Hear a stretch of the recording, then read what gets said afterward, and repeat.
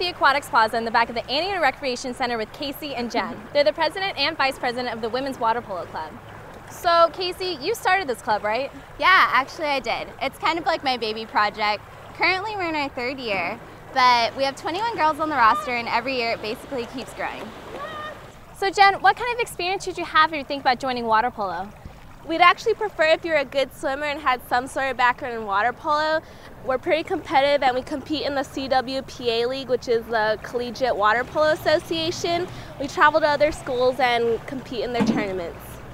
We're pretty serious about winning, but we're also pretty serious about having fun. We make it a point for the girls to have team dinners and other social events so we can create strong friendships and bonds with each other. Casey, tell me about your season when you practice. We actually practice year long, but our season starts in winter. We practice about six hours a week with our coach Daniel. Jen, what kind of experience does your coach have? Daniel's a really great coach. He used to play for the men's water polo team at UCI, so he's really helpful at practice. Well, it seems like you ladies have all the components for a really wonderful season ahead of you. And it's really important to point out again that Casey, thanks to you, there even is a women's water polo club.